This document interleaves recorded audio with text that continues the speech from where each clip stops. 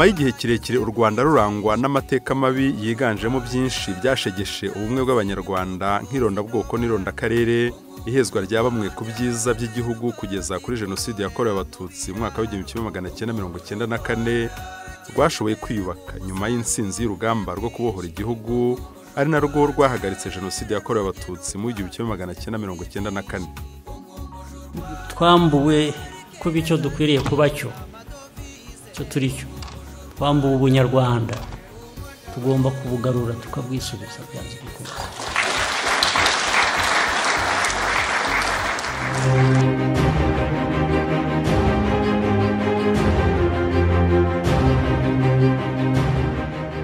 ntawashobora gusobanura impamvu ari ngombwa kongera gutoza abanyarwanda kwiyumvamo ubunyarwanda mbere y'ibindi byose adahereye ku mateka yaranze u rwanda mu bice byayo by'ingenzi binyuranye.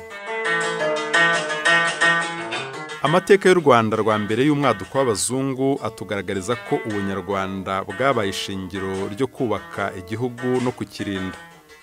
Isano abanyarwanda bemeraga ko basangiye yabasangizaga urukundo n'ishema bari bafitiye igihugu cyabo. Ibi bikaba byarateraga ishema abanyarwanda bikabahesha n'igitinyiro imbere y'amahanga.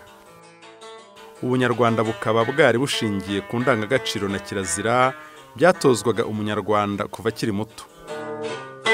Mu gihe muri icyo gihe ndetse na n'ubu ibihugu byinshi wasangaga bituwe n'amoko anyuranye kandi mu bice bitandukanye adahuje ururimi n'umuco abanyarwanda bo bari bahuriye ku rurimi rumwe idini rimwe n'umuco umwe muri rusange mu gihugu hose baturanye nta vangura bategekwa n'umwami umwe akaba n'ipfundo y'ubumwe bwabo. Umwami ntabwo yacaguramaga abanyarwanda.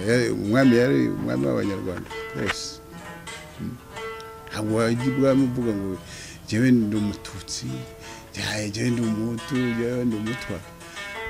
Si ukuvuga ko ubwami hatabaga abahagenda kandi bafite uko basumbana ntabwo basumbanwaga n'inkomoko yabo nk'iy'abakoroni baje kwaduka. Batandukanywaga n'ubutoni bafite ibwami ubutoni bwagenderaga ku mirimo bakoreraga ibwami. Niba uri umuntu w'ingabo ikomeye ifasha umwami kujya kwagura u rwanda. Ibyo warabyubahirwaga ugakomera cyane. Ukagira ingabo ukagira inka zijyanye n'izo ngabo ukagira abagaragu bajyanye n'izo ngabo ukagira ibintu byose bigufasha mu buzima. Nicyo cyagenerwagaho ubutegetsi bwa cyami bugenda bwagura igihugu. Icyo gihugu ntabwo barebaga ngo aha hatuye aba n'aba n'aba n'aba oya ikindi cyitabwagaho cyarebwaga imiryango imiryango. Ari na yo moko mu by'ukuri yari ariho icyo gihe abasinga abanyiginya abega abazigaba imiryango. Iyo yagenderwagaho.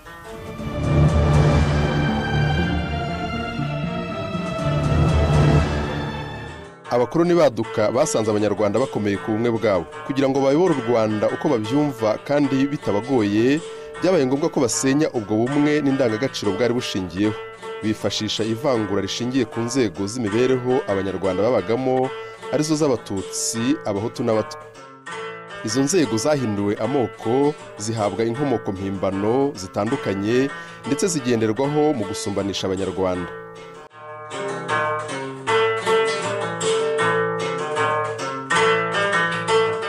Mu gitabo cye yise u rwanda cya gihugu cyaciye mu muriro kikawuvamo gityaye kurusha mbere padiri bernard muzungu avuga ko john hanning speak umwongereza wakoze ingendo muri afurika mu kinyejana cya cumi n'icyenda ashakisha isoko ya nili yiyemerera ubwe ko ibyo by'amoko y'abanyarwanda ari we wabihimbye. Ibi akaba yarabyanditse mu gitabo cye resource du nil cyangwa se amasoko ya nili ikibabaje ni uko icyo kinyoma cyaje kwemerwa n'abantu benshi kikigishwa no mu mashuri. Iyi ngengabitekerezo ikaba yarashyigikiwe byimazeyo n'abamisiyoneri babera mu bihe bitandukanye. Aha twatanga nk'urugero. Mu ibaruwa karidinari ya vigeri w'umufaransa yandikiye abapadiri bera mu mwaka w'igihumbi kimwe magana cyenda yagize ati abatutsi bafite ububasha bwatuma ijambo ry'imana rikwirakwira. Ni ngombwa rero ko dufatanya nabo kugira ngo badufashe gukwirakwiza ijambo ry'imana. Musenyeri classe nawe w'umufaransa mu magambo ye yagize ati abatutsi ni ubwoko butandukanye cyane n'abahutu kandi bafite inkomoko yihariye.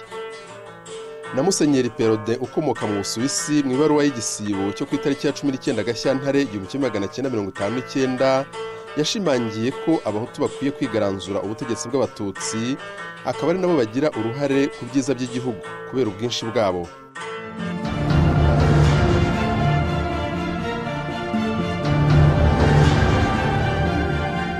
U rwanda rwiswe ko rusubiranye ubwigenge bwarwo tariki ya mbere nyakanga igihumbi kimwe magana cyenda mirongo itandatu na kabiri.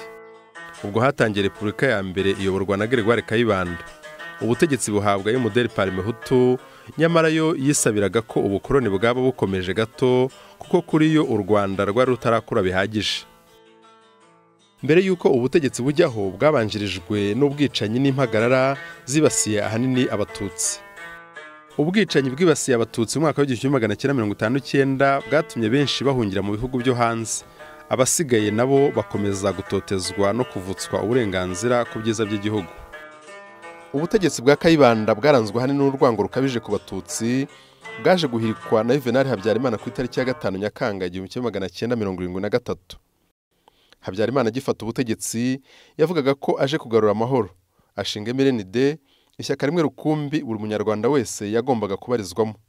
Ariko se byaje kugenda gute?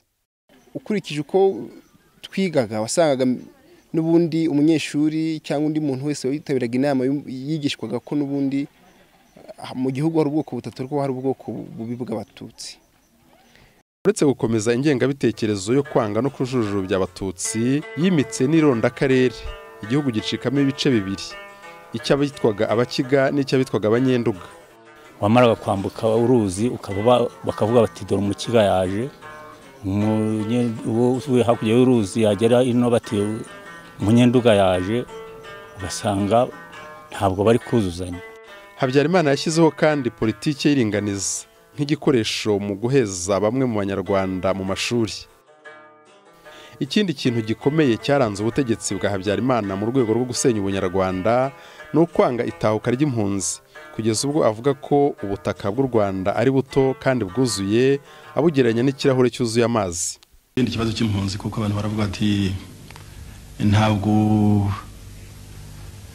mwakivuzeho bihagije cyangwa se mwashyizeho amabwiriza ahagije. Ariko u rwanda ni rutoya ibyo byo biraboneka. Amahanga yadufasha kuko u rwanda ari rutoya.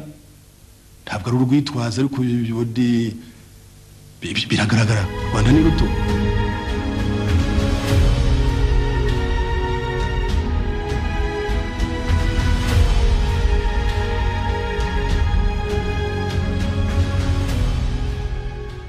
Tariki ya mbere ukwakira igihumbi kimwe magana cyenda mirongo cyenda fpr inkotanyi yatangije urugamba rwo kubohora u rwanda. Ubwo n'imbere mu gihugu havutse imitwe ya politiki imwe ishyigikiye ubutegetsi bw'iheza n'ivangura bwariho yaje kwibumbira mu cyiswe hutu pawa n'indi yasabaga ko abanyarwanda bagira uburenganzira bungana mu gihugu cyabo.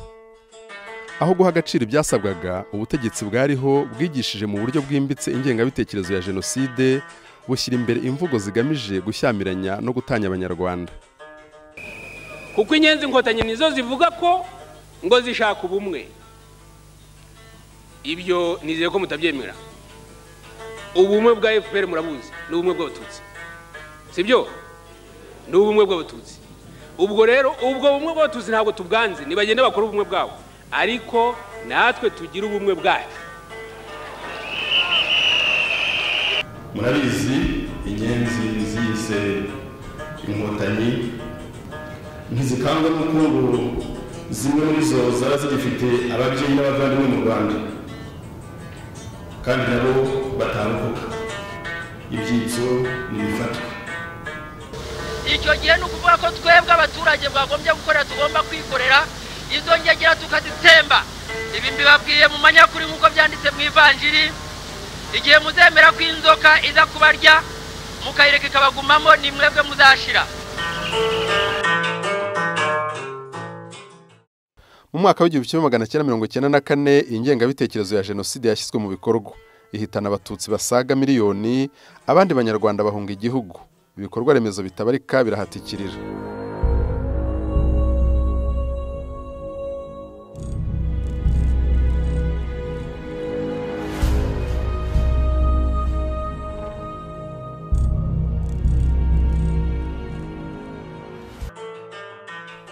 Mwaka w'igihumbi kimwe magana cyenda mirongo icyenda na kane fpr inkotanyi yaje guhagarika jenoside yakorerwaga abatutsi. Itsinda urugamba ibohora igihugu. Kuva ubwo u rwanda ruva mu mwijima w'amacakubiri rutangira gahunda nshya zigamije kubaka ubumwe bw'abanyarwanda iterambere n'imibereho myiza y'abaturage.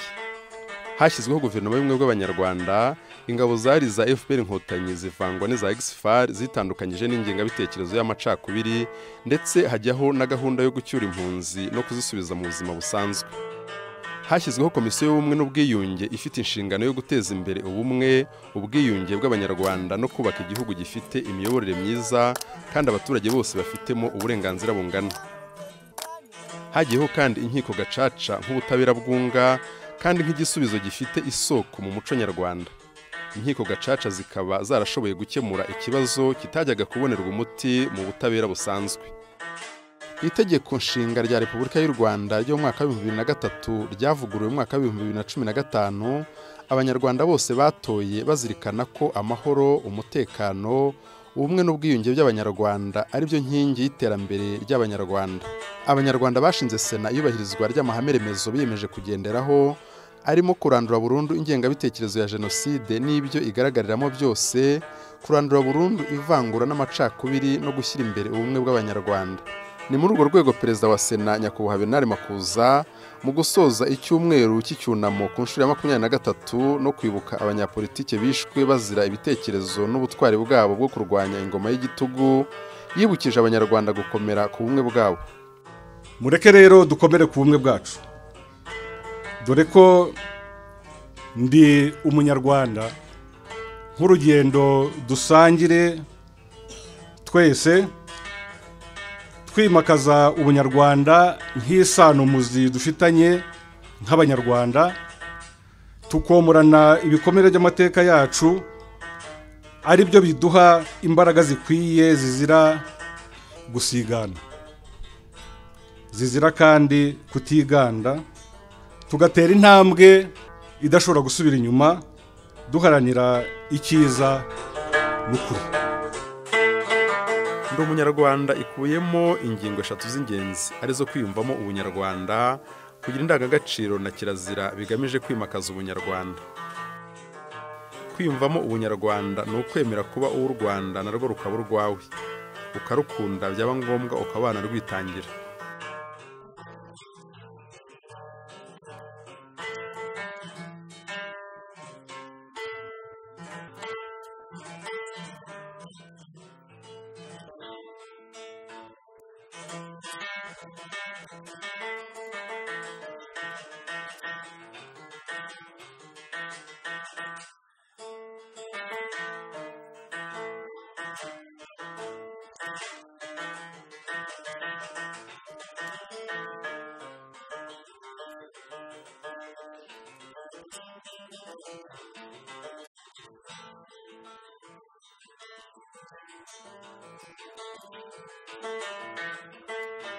umunyarwanda muzima arangwa n'indangagaciro z'ingenzi nko gukunda igihugu n'abagituye kurangwa n'ubumwe ubupfura ubutwari ubunyangamugayo gukunda umurimo no kuwunoza.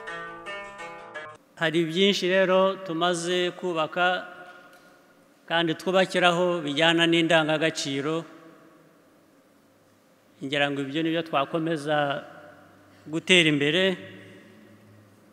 Nk'abanyarwanda maze izi ndangagaciro ntimuza ntihakagire uzisuzugura cyangwa ngo azitware nk'ikintu kidafite akamaro. Nanone iyo mukurikira ibiba ku isi hirya no hino byose musangamo abantu bafite ibibazo cyangwa ibihugu bifite ibibazo kubera ko bataye indangagaciro. Kuba rero kuvuga uti ndi umunyarwanda ni ukuvuga ufite ibirenge hasi ufite aho ukomoka. Umwana w'umunyarwanda aba umunyarwanda akunda u rwanda arukorere muri rusange arukore yumva avuga ngo ndi umunyarwanda naho ibindi ni ibintu byavuye mu nzira kuko n'ingaruka zabyo zaragaragara. Kugira umuco wo kuganira no gusesengura mu gukemura ibibazo na yo ni ndangagaciro ikomeye y'umunyarwanda.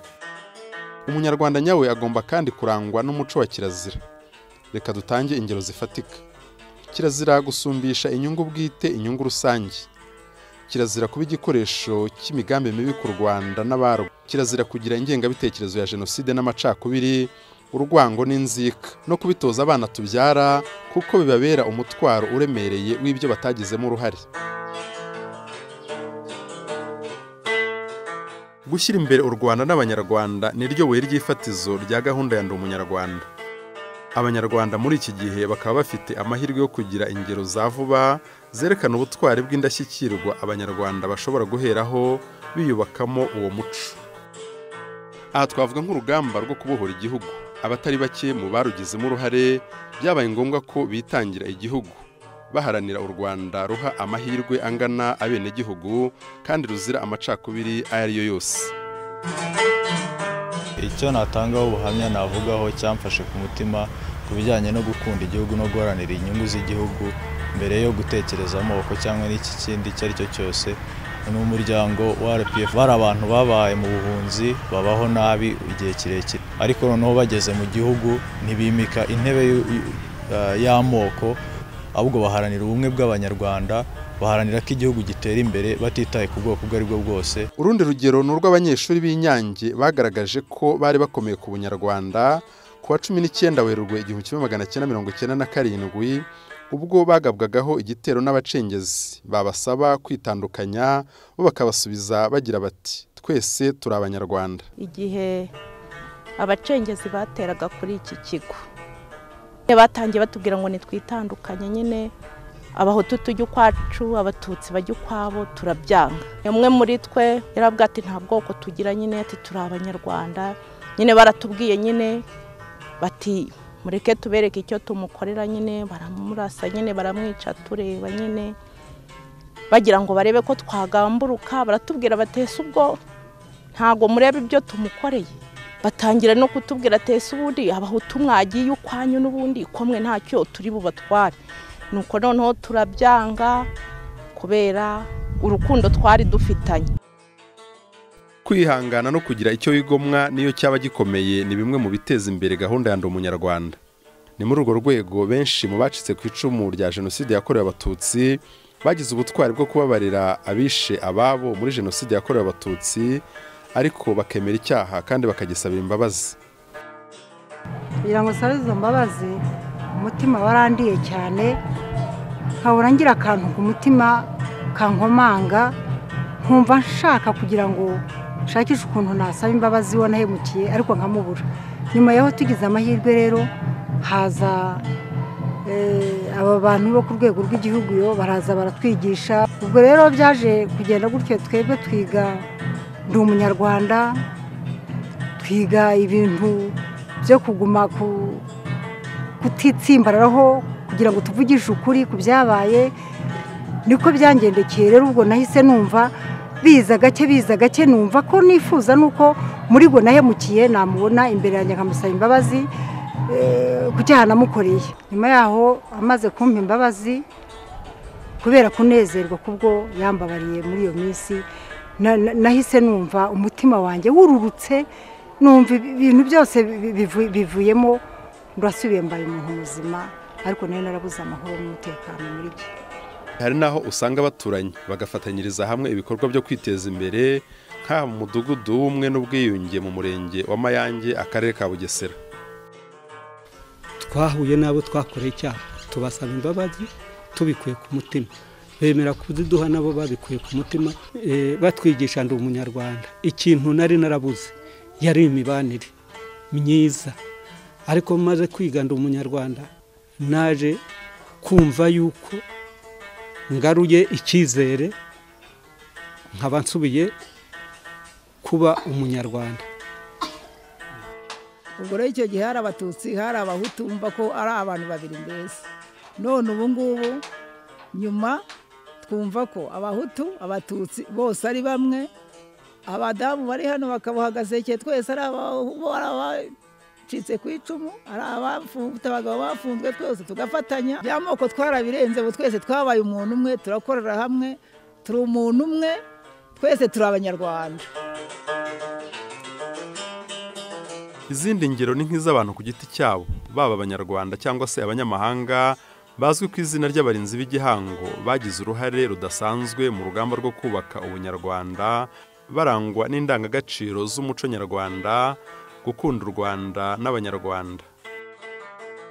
Reka dutange urugero rumwe gusa muri nyinshi zatoranyijwe.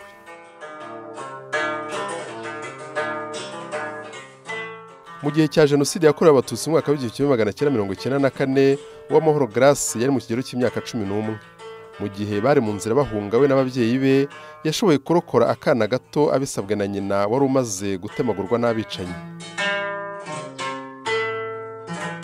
Yaramuhunganye kugera muri kongo yitwaga zayire icyo gihe aza no kumuhungukana bakomeza no kubana nk'umwana we.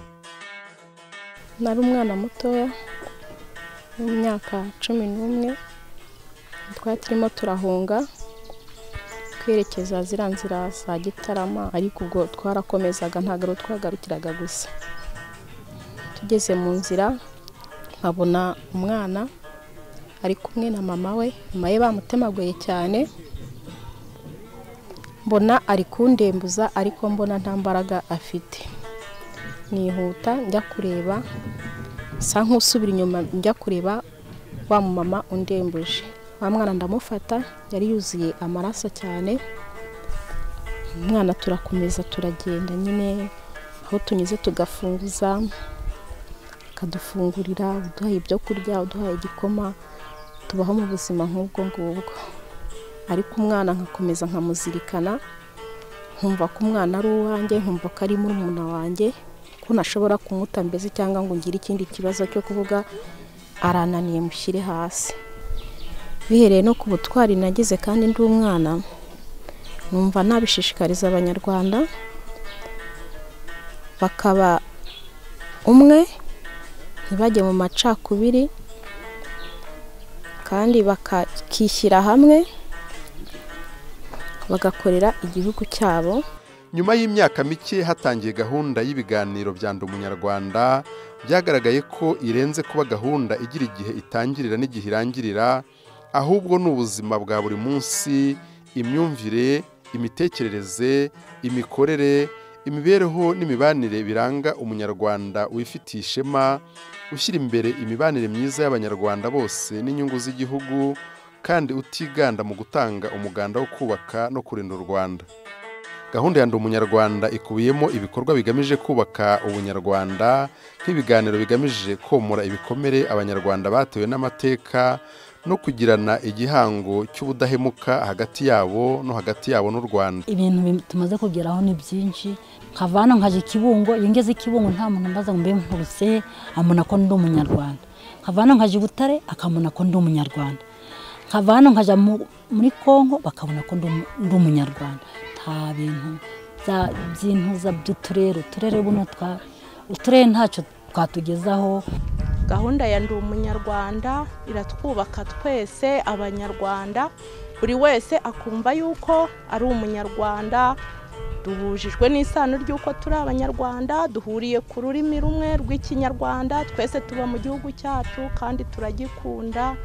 Kandi twese tuva n'amaraso amwe tugomba rero kunga ubumwe tukaba bamwe ntitugire ikintu dupfa kuko isano dufitanye iri mu bintu byose. Yewe by'umwihariko icyo bimaze kungezaho ni uko bimaze kumpa kumpa agaciro. Bimaze kunkura ahantu nibona mu ndorerwamo y'amoko nkaharanira kwitwa umunyarwanda kuruta kwitwa ikindi kintu icyo ari cyo cyose. Ibyo bigatuma numva biri kundemamo icyizere kumva mfite icyizere cyo kwitwa umunyarwanda kuruta ikindi cyose nakwitwa. Rero byankuye ahantu kutibona mu ndorerwamo y'amoko bigatuma ntatinda mu ngaruka z'icyo amoko yakoze ahubwo ngatumbira gushyira imbaraga mu kwitwa umunyarwanda. Ndi umunyarwanda ni ukwiyumvamo isano ihuza abanyarwanda batewe ishema no kuba abanyarwanda bahuriye ku gukunda u rwanda kururinda no kuruteza imbere. Uru rwanda rwacu rero kugira ngo rutubere rwiza rugire n'uruhare rushimishije n'ahandi twakurinda umuryango wacu. Kurinda ibikorwa byacu byiza kurinda ubumwe bwacu kumenya umunyarwanda. Kumenya ko ari umunyarwanda dukwiriye guha agaciro. Ndi umunyarwanda ni inshingano ni uburenganzira ni indangagaciro na kirazira bigamije kwimakaza isanomuzi y'ubunyarwanda abanyarwanda bose bahuriyeho. Bamwe mu banyarwanda bakiziritse ku migozi y'amacakubiri bakaba bakwiye kwikubita agashyi bakagaruka ku gihango cy'ubunyarwanda. Umunyarwanda. Yimakaza ubwizerane ubworoherane uburenganzira bungana kuri bose ukwishyira ukizana mu gihugu bigatera buri wese kugikunda no kugikorera nta gusigana. U rwanda rwacu rumaze kurugira igihugu cy'agaciro. Gifite agaciro. Gifite agaciro bitari mu karere gusa ahubwo ku isi yose.